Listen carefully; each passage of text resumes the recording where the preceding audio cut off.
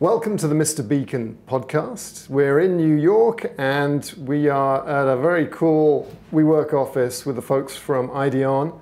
And um, I'm talking to Michael. Michael, what's your role? I'm the Chief Operating Officer for Idion. Tell us what they do. Ah, Idion is a personal identification, security, and experience platform. So if I break that into pieces, um, it's all done through this device. Very cool. Which is a skin applied um, personal identification device. So on this we have radio, this particular one has radio frequency technology, but yes. we could use others in, in your case, Bluetooth, Bluetooth. would be nice. Yeah, yeah. Um, so on the personal identification side, we use this to identify an individual using a UID number and a specific non-replicatable number that we can apply to an individual. I mean, you know, most things about hospitals are just horrible. But I can imagine with kids, this is like, you know, what do you do when a kid has done something uh, to be praised? You give them a sticker, don't you? You give them a, a thing to stick on them. They're going to love this.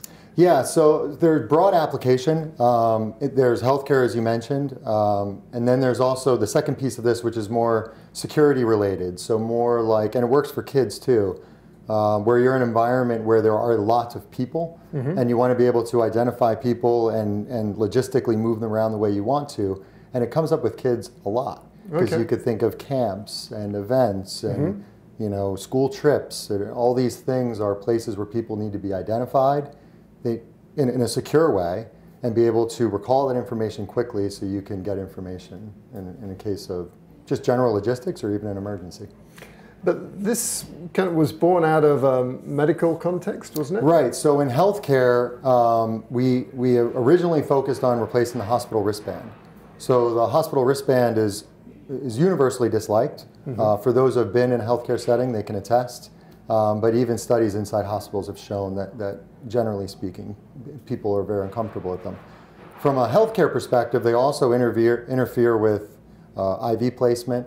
Uh, they create irritation on the skin, um, and they're a, a, a, conduit for disease transmission. And I say that because uh, in a healthcare setting, when you go from person to person to identify them with a wristband, you need to grab it physically. Mm-hmm. And there are things in place for sanitary purposes to try to prevent, but just inherently, you're going to have some transmission from person to person. And with our device, since it's non-contact, there'll be no reason for that individual to actually physically touch the person, and, and, and, hence, you know, less opportunity to transfer something from patient to patient. So, I mean, we had a look at it. What, what is this, and, and why does it stick on? Why doesn't it just come off? Yeah, so it's a hyperallergenic uh, material, uh, and it's all skin safe to be applied to the skin. So there's an adhesive, there's an electronical component, and then there's a uh, a soft, flexible material that is applied to the surface of the skin to feel like skin, mm-hmm. be comfortable and discreet and, and easily forgotten that you have it on. Because if I was sticking like a bit of paper or plastic onto my skin, that would be the opposite of comfortable. But this has got some flex in it? Or, yeah, so some elasticity, you know, similar to the skin will go a long way in comfort on the skin. Okay. So something stiff will feel stiff uh, something that uh, has friction on it, you'll feel the friction when you when you run past it. Right. But it, you know, if we you know we could put that on you, you you'll see that it's uh, very quickly you'll forget that it's there, and it, it won't feel like much at all. And this particular version is is that UHF? It's a UHF RFID. That's NFC. Oh, it's NFC. Okay, so you would tap it with your phone or, or, or, yeah so there's there's two ways to look at it right there's the if we take healthcare, for example, there's the facility side and then there's the patient side. Mm-hmm. So for a patient, we want something that's secure, safe, comfortable, and then we can also deliver an experience like you described that's relevant to their stay. So uh, education for the patient, education for whatever they're there for, things they could take home with them. Mm-hmm. We can deliver that information through a smart device that they tap that's specific to them and their case. Mm-hmm. And then on top of all that, we can put them in a more immersive experience in the hospital. So in New York, uh, it's difficult to park, it's difficult to find restaurants. So we can deliver some more generic information about how to navigate through the hospital for all patients, and then also be more specific about your particular situation. Okay. On the flip side, we've got the facility. Now, the facility is more interested in access and logistics and, and delivering good care, right person, right time, right care. Mm-hmm. So what this does is creates a platform for all these disparate systems, whether it be physicians or nurses or administration or whatever, or, mm-hmm. or custodial, can all work together using this device as the central point mm-hmm. to deliver care. Okay. And in terms of the other challenges with the existing product, you talked about comfort. You talked about the fact that they're not particularly clean, and hospitals are notorious for being dangerous places to, to go. So it would be good to avoid that. And if you could just get rid of the backless gown, and th- I think the combination of the backless gown removal and the, the wrist strap removal could completely transform things. Um, I mean, is there really an issue with, other than the discomfort and the disease, are there any other issues that you're solving? Errors associated with misidentification are often because the patient doesn't have it on. And, and the number one culprit for taking off a person's wristband in a hospital is actually the care provider, the doctor. Uh, because what they'll need to do is deliver some sort of care that requires them to either remove it or, or, or access something that's in the area. And um, my wife is actually a doctor at uh, Columbia, uh, and she's told me about situations where you could be placing IVs or A lines, which are arterial lines, and you don't know the wristband is there while you're doing it. But then once you push the gown up or do something, you see that it's there. And it creates a big issue because it took you a long time to put that on. You don't want to take off the wristband because that creates possibility for error in the future. So there's kind of conflicting forces that are pushing against each other. And in some cases, even extreme cases, there are some, uh, like cardiothoracic surgery, for example, will remove all identification before they go in because they need access to both extremities. So there's some extreme cases that are that, that are you know in the picture, and then there's some more broad application. And tell us a bit about the, the company. What, what kind of stage are you? Who are the founders? So I'm one of the founders. Uh, my partner, Dr. Peter Costantino, is the uh, original founder, if you will. Uh, he's the chair of head and neck surgery at Northwell uh, and has a history of, of doing uh, some companies in the past as well. So he's actively involved as the president and the chairman of the board, and uh, I'm the chief operating officer. And uh, where are you in the product development testing cycle? Yeah, so we're uh, we we've already deployed it in a recreation setting, uh, in a hospitality setting, quite quite successfully, um, and we are doing a uh, IRB, which is an institutional review board trial, clinical trial, uh, at a hospital system in New York in the coming months. Uh, but we're ready for we're ready for production. We're ready for sale. And I, I was thinking about you just in the medical context, but you've just opened up a whole broad set of applications. I mean, this is something that it seems, I mean, can I just wash this off? Is it easy to get off, or t- tell me about aspect so uh, I'll say it depends, Okay. right? So it, it, you know, you, you brought up a good point because it depends on the environment. So in a healthcare setting uh, where you're there for several days, you may be getting sponge baths, you may be uh, iodine. It's the things may be being applied to the area that you want to be able to protect from. Yeah. So you're going to have a stronger adhesion there to make sure that you can last through those things. All right. Uh, similarly, in a um, warm weather environment, you're going to want the same thing because you're going to have not the same issues, but similar ones where you're going to have salt water, chlorine, uh, you know, suntan lotion, oils, and things like that. So then, then you can soften things up in an environment where maybe you're just at a day event and you don't expect to have any really strong environmental forces affecting what's going on. So it, it can be, when it wants to be removed, you can remove it for, for certain, but once it's removed, it's destroyed. It's no longer functionally capable, uh, either with the uh, functionally capable or visually read. And is this going to be used in theme parks? Is that one of the markets that you're thinking of? So we have four verticals. Healthcare, we, we talked about. Uh, hospitality is another one. Uh, so in that realm, we're talking about destination hospitalities, so uh, you know resorts and cruises, things like that.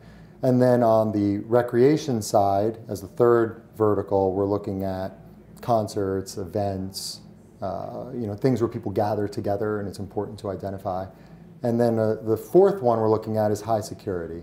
So think religious pilgrimages, places where people come together, uh, where security is very high, Uh, and there, there's a lot of focus on making sure that the right people are there and that the ones that are there we can identify in a very secure way. I mean, there's just nothing worse than being in these water parks and you're like trying to figure out how to keep the dollar bills dry or worried about losing your card. So it seems like there's a lot of opportunity. And obviously, Disney have done the Magic Band mm-hmm. thing, but then you've got the, the band. It seems like this would be a, a lower cost option. And yeah, I mean, if you look at like the, the band or even RFID wristbands, I mean, what, what you're doing there is you're you're, you're compounding a lot of the issues associated with comfort, mm-hmm. uh, with being discreet and, and being easy to wear and cost, of mm-hmm. course, as you know. Um, and, and really, all you're, you're, not gaining much in return, right? We, we, can do the vast majority of what you can do with those bands, we can do with this mm-hmm. at a lower cost in a much more discreet way. You mentioned RFID, this is NFC. Do you see these being manufactured with other chip technologies? Absolutely, as they become available. For us, it's about form factor, right? right. Like we, we want to make sure that when it goes onto an individual, that it, it's a it's a thing something that they enjoy. Mm-hmm. Um, so if the form factor fit, then then you know we would take whatever technology fits the application. And when we started talking through Wiliot and battery-free Bluetooth, and I don't want to kind of get into that because we're pre pre-product, but but what about have, have you looked at RFID and what, what are the pros and cons of having a 800 megahertz UHF kind of uh, RFID chip in there? So, so right off the bat with, with UHF, you're going to need readers. You're, yeah. you're going to need to set that. That's a, that's a very large infrastructure spend, and that's yeah. actually a lot of the research suggests that that's why adoption has not happened over the last mm-hmm. 10 or 15 years. Um, you're also going to need a battery. You're going to yeah. need to power it in some way. Mm-hmm. Um, technology's getting there uh, with printed electronics, and we're, we're, we're, getting there with printed batteries. And in, in, the future, we may get there. We're not quite there yet. So you've got a large form factor, a large investment on the individual piece and on the infrastructure to make the piece work. Mm-hmm. So the beauty of, of this is that we're the only thing we need is a smart device, which the vast majority of the population already has in their hand. Very good. Anything else that we should cover, do you think, in terms of uh, where you're, what you're doing and, and where you're headed? I, I really love the, uh, the idea. I think uh, the healthcare market seems like it's really um, a, a, great stage to bring this out in because there's a lot of costs and issues that people are looking to optimize. Your hospitality play, I think, especially when you're tracking kids and uh, uh, and so forth and grown-ups. Uh, you know, if you can have no-click payments where basically you are the payment token, um, and you can use this to find people in parks and so forth, and that seems like a great opportunity.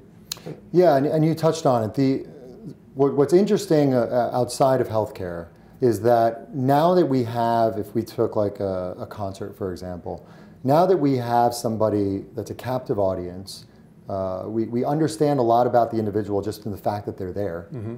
Uh, and now we put this device on them and we put them in a, you know, first things first, we need to make it good for the, for the user, right? Mm-hmm. For, the, for the patron. So we give them a good experience. We show them, uh, you know, what's going on at the event, logistics, promotions, prizes, and all those things to, to make it interesting and fun. But, but we can also now create revenue generating opportunities because this becomes a new channel right? This becomes a way the sponsorship can get a captive audience in their hand in a particular place. Mm-hmm. And driving that event to a brick and mortar, driving that event to a sale is something that's very difficult to tie now, but it's something that we can do. Um, so the revenue generating opportunities for merchandise, upgrades, promotions, prizes, all those things is, a very good opportunity outside of, of the healthcare environment. And then the final piece to that is if you if you pull in one more thing that you can do on both sides that's very interesting, we haven't talked about at all, is the analytics, right? So just by the nature of having this on, we're going to collect some stuff that's not relevant to the individual, but relevant for us learning about where people may be interacting and going, right? Just mm-hmm. general flow. So if you have an activation where you're a sponsor and you, you know, you want people to come in, it's nice to know how many people came in, how long they stayed, you know, things like that. Uh, but then there's also for loyalty programs, for super users, people that want to get more involved, they can then interact and engage in a way that's more personal, so that when they come back to the next event, there, there's more information that's already built in. We know who they are, and from there you can start to imagine the things you can do uh, from event to event to to make the experience better for the individual.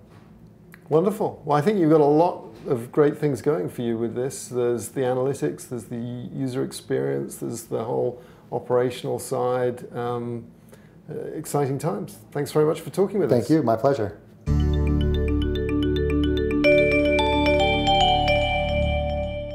What three songs would you take on a journey to Mars? Okay, good. I was hoping you'd say Mars and not the moon. So the first one I picked because uh, it just popped into my head when you asked me Mm-hmm. was Beatles Across the Universe because they're a great band and it just popped into my head. Yeah. Uh, the second one I picked was the Misfits. Uh, I turned into a Martian, which just kind of rocks. It's, just, it's a cool song.